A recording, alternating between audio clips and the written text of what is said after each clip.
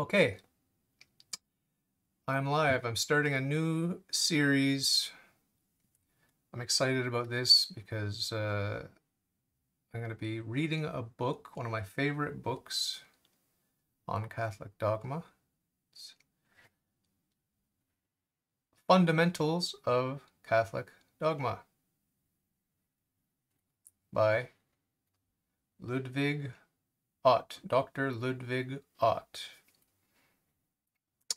a one volume encyclopedia of the doctrines of the Catholic Church showing their sources in scripture and tradition and their definitions by popes and councils. So I'll be going through this. The way I read books is I start at the end. I start at the back of the book. So at the back of the book, this book by Dr. Ludwig Ott is a conspectus of all dogmatic theology and quite the most remarkable work of compression of its kind that I have encountered. The book will appeal particularly to busy priests who are anxious to review quickly the teachings from tradition, from the Bible, and from reason on any particular point of doctrine. It will be especially useful to students, and it makes available for educated laymen a scientific exposition of the whole field of Catholic teaching. Finally, Dr. Ott's work will be invaluable for use as a textbook by those priests whose duty it is to present to students in a systematic way the teachings of the Catholic Church. This taken from the foreword by James Canon Bastable, DD, Doctor of Divinity, I guess that is. This is a tan book Fundamentals of Catholic Dogma. This episode zero is an introduction. I've started on the back page. Now I'm going to just go and take a look at the very last page and I'll go backwards until I get to the end of the main body of text. I started reading this, uh, I read it first, I first read it in 2010, just shortly after my conversion. And here I have a little drawing illustration I did of the Trinity, Patris Filius, Spiritus Sanctus. Yeah, I've got the P, F, and S for the Father, Son, Holy Spirit. So we've got in one God, we have two generations, three persons, four relations, and we see the asymmetry in these relations here between the passive and the active generation, intellectual generation, and the passive and active spiration, Spiration is volitional of the will, generation is intellectual of the reason. Okay. PF does not become a fourth person by being the subject of active spiration. So if you group together the Father and the Son, who together spirate the Holy Spirit, the third person, that does not mean that the Father and the Son become a fourth person. Okay. So we see, I'm just going to quickly go through these, these indices at the back. We can see references to the texts of the Old and New Testaments. Very useful index. I recommend you get a copy of this book. I haven't found it in uh, Kindle format, ebook format, or PDF or anything like that. So I just went ahead and bought the book back in 2010. So the index, this particular index is the index to the Old New Testament. It gives the credits there. Very exhaustive index. We also have an index of subjects. Very thorough index. Okay, the index of subjects. And then we have, going backwards, of course, we have the index of persons. So, very thorough once again. St. Ignatius of Antioch there, you can see I'll just skip ahead or backwards. Then we have the uh, corrections. So the index of persons there, excluding authors and literary references. So the uh, next page going backwards is the errata or corrigenda. And I've gone through and I've actually applied all of those with my little pencil. Now we have the bibliography. Quite a thorough bibliography with headings, topics, okay. The bibliography is very good. And here I just put a little cross at the end of the final chapter. And so, as a little spoiler alert, let us read this final chapter of the book. The end of the world and its renewal brings to a conclusion the work of Christ. As all enemies of the kingdom of God are conquered, he surrenders the overlordship to God the Father, without, however, divesting himself of the lordship and royal power founded in the hypostatic union. With the end of the world, there begins the perfect lordship of God, which is the ultimate object of the whole creation and the final meaning of all human history. So, little spoiler alert the spiritual battle is already determined, it's already won. God wins in the end. I do this when I read fiction too. I go to the very end and I read the uh, last page or so just to see how things end up. That's just the way I do it. So I'm going to now go to the beginning of the book, Fundamentals of Catholic Dogma, edited in English by James Canon Bastable, DD, translated from the German by Patrick Lynch, Lynch PhD, Tan Books and Publishers Incorporated, Rockford, Illinois, and uh, put my name and the date when I started reading it. I also have a little note here, difficult concepts have an exclamation point. I don't know how many of those we'll discover as we go through, because it's been quite a while since I've gone through this book. This, this book was first published in English in May 1955 by the Mercier Press Limited. First published in German in 1952 under the title Grundriss der katholischen Dogmatik by Verlag Herder. And uh, this is the fourth edition that I own, published in May 1960. Always good to see the Nihil Obstat and the Imprimatur. So we have, uh, for the Nihil Obstat, we have Jeremiah J. O'Sullivan. For the Imprimatur, we have Bishop Cornelius, sure what the Latin is there that follows his name. So these were granted on the 7th of October 1954. Printed and bound in the United States of America, Tan Books, etc. Now we see 1974. So I'm going to read the entire book because I'm going to use it later in an edited audio form as sort of uh, audiobook for myself, just to brush up on all the concepts that are contained in this wonderful book. So as part of the introduction, I'll read the preface. Preface. This basic course of dogmatic theology appears in place of B. Bartmann's 1938 basic course, which has been out of print for years. Derived from practical experience of theological instruction, it is primarily intended to meet the needs of students. My aim was to present the essentials of the church teaching and the foundation of such teaching in clear and concise form. On didactic grounds, the matter was very extensively correlated. As the framework of a basic course could not be exceeded, only the most important pronouncements of official church teaching only individual significant scriptural texts, and only one or two patristic texts could be quoted verbatim. The history of the development of dogma has been kept within the minimum limits indispensable for the understanding of church doctrine. The scriptural and patristic texts were, on principle, quoted in their translation. Anyone desirous of seeing the original texts can easily find them in the Bible.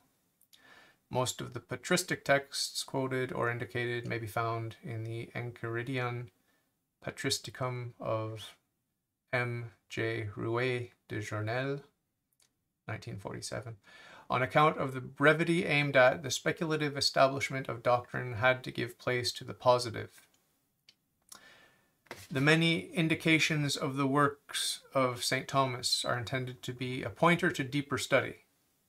The reader is directed to the appropriate articles in the Dictionnaire de Théologie Catholique and to the Theologische Wörterbuch zum Neuen Testament of G. Kittel. Excuse my pronunciation in foreign languages. The present basic course is constructed on the framework of the lectures of my teacher, Michael Rackl, who died in 1948 as Bishop of Eichstätt, Eichstätt and of Martin Grabmann, who died in 1949. And I venture to hope that it breathes their spirit.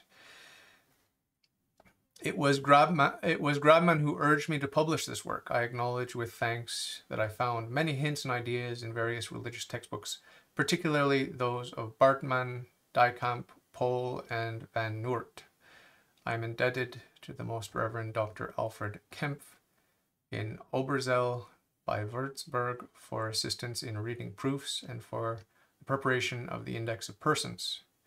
May this book contribute to the extension of the knowledge of the Church's teaching, to the deepening of the understanding of this teaching, and to the awakening of the religious life. Eichstätt, 15th of August, 1952. Ludwig Ott. Next, we have the foreword to the English edition, the first English edition. This book by Dr. Ludwig Ott is a conspectus of all dogmatic theology and quite the most remarkable work of compression of its kind that I have encountered. The book will appeal particularly to busy priests who are anxious to review quickly the teaching from tradition, from the Bible, and from reason on any particular point of doctrine. It will be specially useful to students who desire to revise rapidly in the vernacular the tracts which they are presenting for examination. It makes available for educated laymen a scientific exposition of the whole field of Catholic teaching. Finally, Dr. Ott's work will be invaluable for use as a textbook by those priests whose duty it is to present to students in a systematic way the teaching of the Catholic Church. The Mercier Press has performed a service of major importance in making this work available in English. A special word of praise is due to the translator, Dr. Patrick Lynch, whose careful and accurate work made my task relatively simple.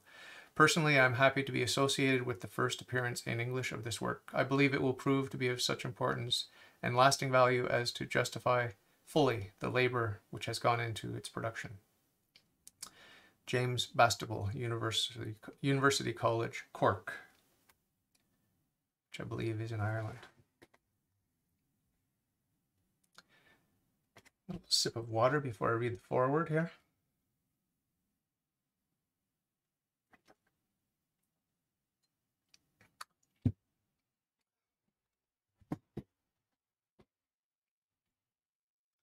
Forward to the second English edition. The exhaustion of the first edition in such short time is most gratifying. It may perhaps be interpreted not only as an indication of the need which the book fills, but also as a tribute to the book itself. In this connection, it is of considerable interest to note that Dr. Ott's work has appealed not only to priests and religious, but to a very wide circle of layfolk. As the author mentions in his preface, the object is to provide a basic course. In the light of this book, in the light of this book is amazingly comprehensive. Excuse me. In the light of this, the book is amazingly comprehensive. The references to disputed questions are, of course, very much in outline, but students of theology find them valuable in that they recall to their minds problems which they have studied in detail elsewhere. The very many references to sources and the bibliography will appeal to those desiring to study particular points more fully than they are dealt with here. This second English edition embodies the many changes made in the second and third German editions. Further, in this edition, all Latin quotations have been translated wherever this seemed necessary to enable a reader whose Latin is rusty to follow the text with ease. I don't speak Latin. Every effort has been made to eliminate inaccuracies, but doubtless some slips have been overlooked in this book with its quarter million words. I shall be very grateful for any help by readers in correcting these in future editions. James Bastable University College, Cork. Here we have a list of abbreviations. I will not read them, but they're on the screen if you want to pause and read those. Now, on to something I find exciting in every book I read, the table of contents.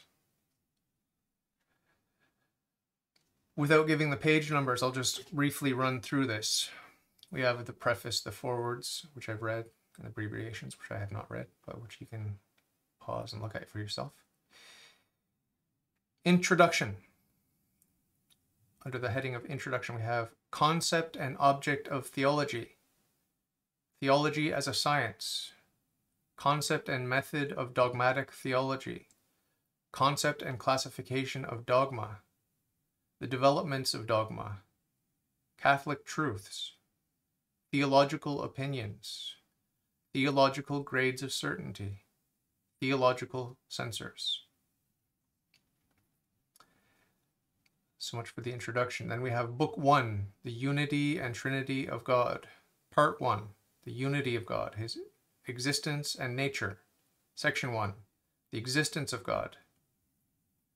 Chapter 1, The Natural Knowability of the Existence of God the possibility of the natural knowledge of God in the light of supernatural revelation, the possibility of a proof of God's existence, errors regarding the natural knowability of God. I put a little arrow next to that. I must have found that interesting. Chapter 2 The supernatural knowability of the existence of God. God's existence as an object of faith. Section 2 The Nature of God. Chapter 1 The Knowledge of the Nature of God. The natural knowledge of the nature of God in this world. The supernatural knowledge of the divine essence in the other world. The supernatural knowledge of the divine being in this world through faith. Chapter 2 The Nature of God in, in itself. The biblical names of God. The physical and metaphysical nature of God Section 3 The attributes or qualities of God. The attributes of God in general. Chapter 1 The attributes of the divine being. The absolute perfection of God. God's infinity. God's simplicity. God's unicity. God's truth. God's goodness. God's immutability. God's eternity the immensity or immeasurability of God and his omnipresence. Chapter 2 The attributes of the divine life, the divine knowledge or knowing, the perfection of divine knowledge, object and division of the divine knowing, the medium of the divine prescience of free actions of rational creatures, the divine knowing as origin of things the divine willing, the perfection of the divine willing, the object of the divine volition, the physical properties of the divine will, the moral attributes of the divine will. Part 2 The Doctrine of the Triune God. Section 1 Dogmatic Formulation and Positive Foundation of the Dogma of the Trinity. Chapter 1 The Anti Trinitarian Heresies and the Doctrinal Decisions of the Church. The Heresies, the Doctrinal Decisions of the Church. Chapter 2 Proof of the Existence of the Trinity from Scripture and Tradition. Indications of the Trinity of God in the Old Testament. the Trinitarian formulae, the New Testament doctrine of God the Father, God the Son, the New Testament teaching concerning God the Holy Ghost, the New Testament doctrine of the numerical unity of the divine nature in the three persons, the testimony of tradition for the Trinity of God. Chapter 3 Triple Personality of God, the triple personality of God. The internal divine processions in general, the procession of the Son from the Father by way of generation, the procession of the Holy Ghost from the Father and the Son by way of spiration. Section 2 Speculative explanation of the dogma of the Trinity. Chapter 1 Speculative explanation of the internal divine processions. The Son proceeds from the intellect of the Father by way of generation. The Holy Ghost proceeds from the will or from the mutual love of the Father and of the Son. The Holy Ghost does not proceed through generation, but through spiration. Chapter 2 The Divine Relations and Persons.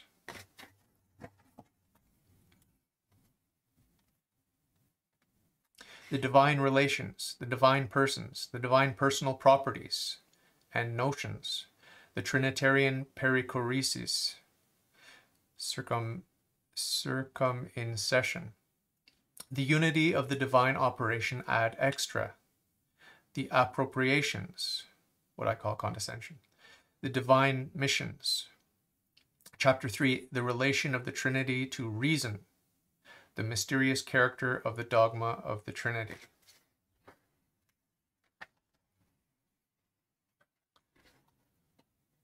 Continuing with the table of contents, Book 2 God the Creator, Section 1 The Divine Act of Creation, Chapter 1 The Beginning of the World or the Creation of the World the reality of the divine creation of the world, the divine world idea, motive and purpose of the creation of the world, the Trinity and creation, freedom of the divine act of creation, the temporal character of the world, incommunicability of the creative power. Chapter 2 The continuous preservation and governing of the world the preservation of the world, the divine cooperation, the divine providence and government of the world. Section 2 The divine work of creation. Chapter 1 Revealed doctrine concerning material things, i.e., Christian cosmology. The biblical hexameron. Hexahemeron, six days of creation. The doctrine of evolution in the light of revelation that will be interesting to look at. The doctrine of the revelation regarding man or Christian anthropology. The nature of man, the origin of the first human pair, and the unity of the human race. The essential constituent parts of human nature. The origin of the individual human souls. The elevation of man to the supernatural order.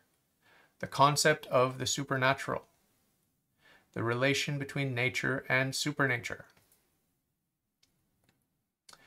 The supernatural endowment of the first man, the various states of human nature.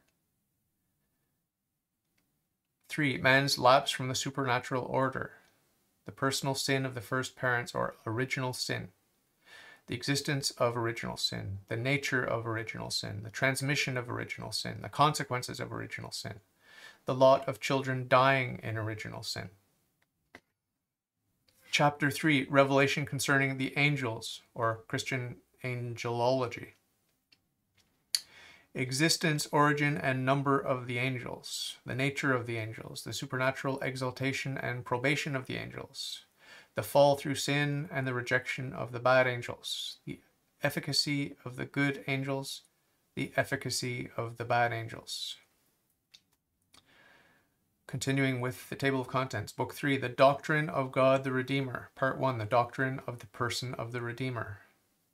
Preliminary Examination, The Historical Existence of Jesus Christ. Section 1, The Two Natures in Christ and the Mode and Manner of Their Unification. Chapter 1, The True Divinity of Christ.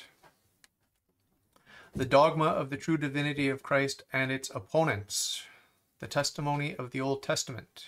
The testimony of the Synoptic Gospels, of the Gospel of St. John, of the Pauline epistles. The testimony from the tradition of the Church. Chapter 2 Christ's true humanity, the reality of Christ's true human nature. Christ's human nature. The integrity of Christ's human nature. The Adamite origin of Christ's human nature. Chapter 3 The unification of the two natures in Christ in the unity of the person. The unity of Christ's person. The duality of the natures. The duality of the willing and the modes of operation. Beginning and duration of the hypostatic union.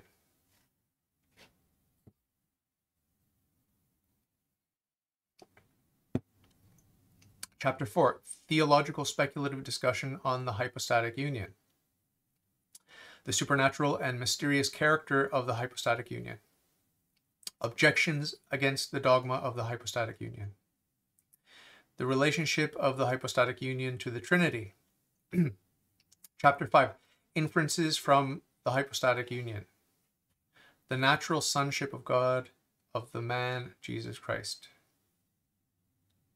Christ's right to adoration, the adoration of the most sacred heart of Jesus, communication of idioms, the Christological perichoresis. Section 2, the attributes of Christ's human nature. Chapter 1, the prerogatives of Christ's human nature, the prerogative of Christ in the domain of human knowledge, the immediate vision of God, the infused knowledge of Christ Christ's acquired knowledge, and the progress of his human knowledge. The excellences of Christ's human will or Christ's holiness, Christ's sinlessness and impeccability, Christ's sanctity and fullness of grace, the perfection of Christ's human power, Christ's power. Chapter 2 The defects or the passibility of Christ's human nature, Christ's capacity for suffering, Part 2 The Doctrine of the Work of the Redeemer. Chapter 1 The Redemption in General. The Purpose of the Incarnation. The controversy as to the conditioned or unconditioned predestination of the Incarnation. Concept and possibility of the redemption through Christ. Necessity for and freedom of the redemption. Chapter 2 The Realization of the redemption through the three offices of Christ the teaching office, Christ's teaching or prophetic, prophetical office.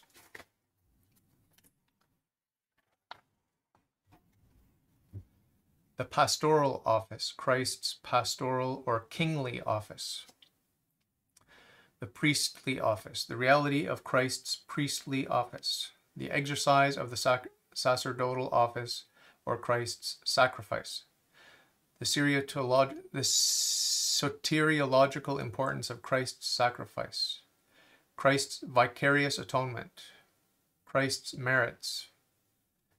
Chapter 3 The glorious conclusion of Christ's work of redemption, Christ's descent into hell, his resurrection, his ascension into heaven. Part 3 The Mother of the Redeemer. Chapter 1 Mary's Motherhood of God.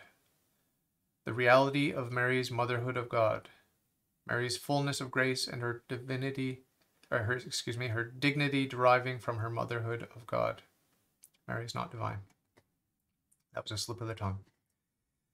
Chapter 2 The privileges of the Mother of God, Mary's Immaculate Conception, Mary's freedom from evil concupiscence and from every personal sin, her perpetual virginity, the bodily assumption of Mary into heaven, Chapter 3 Mary's cooperation in the work of redemption, the mediatorship of Mary, the veneration of Mary. Book 4 The Doctrine of God the Sanctifier, Part 1 The Doctrine of Grace, Introduction of Grace in General, the Subjective Redemption in General, the Concept of Grace, the Classification of Grace, the Principal Errors Concerning Grace. Section 1 Actual Grace. Chapter 1 The Nature of Actual Grace enlightening and strengthening grace, antecedent and consequent grace, controversy as to the nature of actual grace. Chapter 2 The necessity of actual grace, the necessity of grace for the acts of the supernatural order. Human nature's capacity to act without grace and the limits of this capacity. Chapter 3 The distribution of actual grace. God's freedom in the distribution of grace or the gratuity of grace. The universality of grace. The mystery of predestination. The mystery of reprobation. Chapter 4 The relation between grace and freedom. The, church, the teaching of the church on grace and freedom as against heresy theological speculation on the re- relationship between grace and freedom.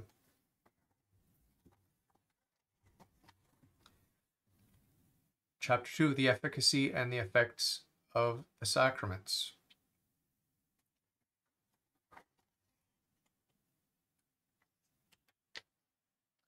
I jumped a page.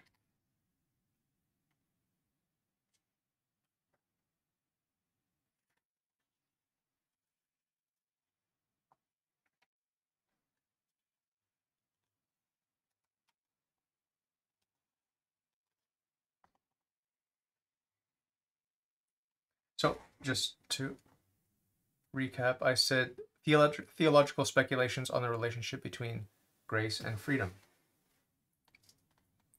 Continuing, section 2 Habitual Grace. Chapter 1 The process of justification, the concept of justification, the causes of justification, the preparation for justification. Chapter 2 The state of justification, the nature of sanctifying grace, the formal effects of sanctifying grace, the comity of sanctifying grace. It's not comedy, but comity. The attributes of the state of grace. Chapter 3 The consequences or fruits of justification, or the doctrine concerning merit. Excuse me. The reality of supernatural merit, the conditions of supernatural merit, the object of supernatural merit. Continuing with the table of contents, part two, the church, chapter one, the divine origin of the church, the concept of the church, the foundation of the church by Christ, the purpose of the church. Chapter two, the constitution of the church.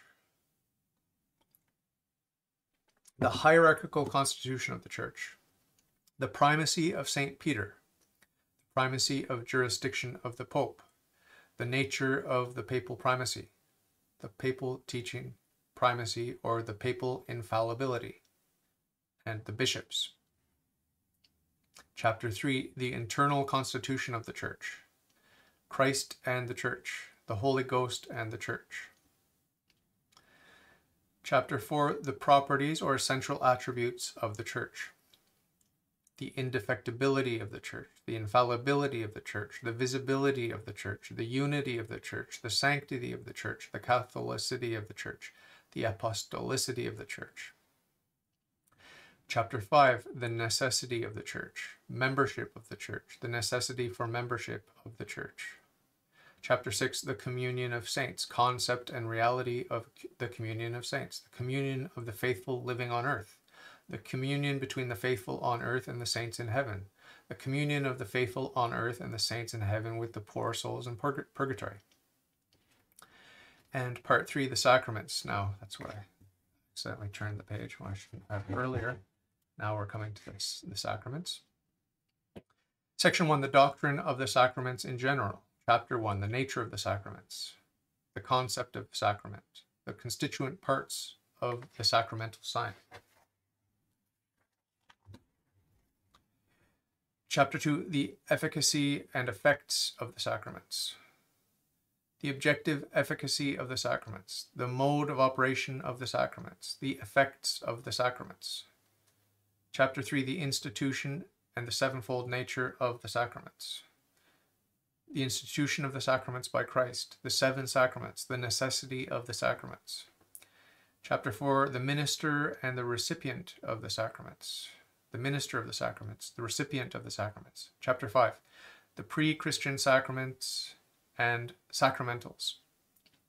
The pre Christian sacraments, the sacramentals. Section 2 The Seven Sacraments. Part 1 The Sacrament of Baptism. The concept of baptism and its sacramental nature, the outward sign of baptism, effects of baptism, necessity of baptism, minister of baptism, recipient of baptism. The sacrament, part two, the sacrament of confirmation, concept of confirmation and its sacramental nature, the outward sign of confirmation, the effects of confirmation, the necessity of confirmation, the minister of confirmation, and the recipient of confirmation. The sacrament of the Eucharist, the concept of the Eucharist. Section 1 The real presence of Christ in the Eucharist. Chapter 1 The fact of the real presence of Christ. the heretical counterthesis. Theses. Christ's real presence according to the testimony of Holy Scripture. The real presence according to the testimony of tradition. Chapter 2 The effecting of Christ's real presence, or the transubstantiation. Dogma and concept of transubstantiation. Transubstantiation according to the testimony of the sources of faith. The sacramental accidents. Chapter 3 Nature and manner of the real presence of Christ the totality of the presence, the permanence of the real presence, the adoration due to the Eucharist. Chapter 4 The Blessed Eucharist and Human Reason, the mysterious character of the Eucharist, apparent contradictions between reason and the Eucharistic dogma. Section 2 The Eucharist as a sacrament, the sacramental nature of the Eucharist, the outward signs of the Eucharist, the effects of the Eucharist. The necessity of the Eucharist, the minister of the Eucharist, the recipient of the Eucharist. Section 3 The Eucharist as a sacrifice. Chapter 1 The reality of the sacrifice of the Mass. The sacrificial character of the Eucharist according to the teaching of the Church. The sacrament, the, the sacrificial character of the Eucharist according to the testimony of the Holy Writ the sacrificial character of the Eucharist according to the testimony of tradition. Chapter 2 The nature of the sacrifice of the Mass, the relation of the sacrifice of the Mass to the sacrifice of the cross, the physical nature of the sacrifice of the Mass, the metaphysical nature of the sacrifice of the Mass. Chapter 3 The effects and efficacy of the sacrifice of the Mass, the effects of the sacrifice of the Mass, the efficacy of the sacrifice of the Mass, the value and the fruits of the sacrifice of the Mass. Four, the sacrament of penance, the concept of penance. Section 1, the church's power to forgive sins. Chapter 1, the existence of the church's power to forgive sins. The dogma and the heretical counter propositions. The testimony of Holy Writ. The testimony of tradition. Chapter 2, the property properties of the church's power to forgive sins. The church's power to forgive sins as a true power of absolution. The universality of the church's power to forgive sins. The the judicial character of the church's power to forgive sins. Section 2, the church's forgiveness of sins as a sacrament, the sacramental nature of the church's forgiveness of sins. Chapter 1, the outward signs of the sacrament of penance. Contrition, contrition in general, perfect contrition, imperfect contrition. Confession, the divine institution of confession and the necessity of confession for salvation. The object of confession. Satisfaction, concept and quality of sacramental satisfaction. Absolution, the priest's absolution as a form of the sacramental sacrament of penance. Chapter 2, the effects of the sacrament of penance and its necessity. The effects of the sacrament of penance, the necessity of the sacrament of penance. Chapter 3, the minister and the recipient of the sacrament of penance. The minister of the sacrament of penance, the recipient of the sacrament of penance. Almost done the table of contents here. I know it's it may seem dry to some, but I love seeing the bird's eye view, the overview of what we're going to get into here. Continuing with the table of contents. Now, what's happening? Did I miss something?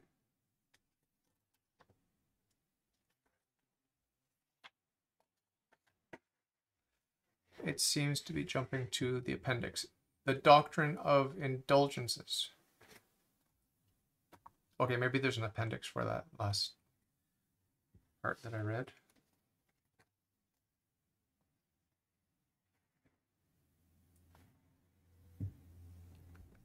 the last thing I read was number 19, the recipient of the sacrament of penance. And then the next thing is 20, the doctrine of indulgences. That little word appendix there, I'm not sure why that's there, but anyway, just continue. Five, the sacrament of extreme unction. The comprom, the, uh, excuse me, concept and sacramental nature of extreme unction. The outward signs of extreme unction, the effects of extreme unction, the necessity of extreme unction, the minister of extreme unction, the recipient of extreme unction. Six, the sacrament of holy order.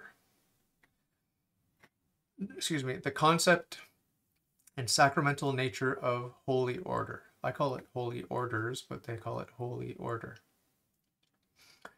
The individual grades of ordination, the outward sign of the sacrament of order, the effects of the sacrament of order, the dispenser of the sacrament of order, the receiver of the sacrament of order.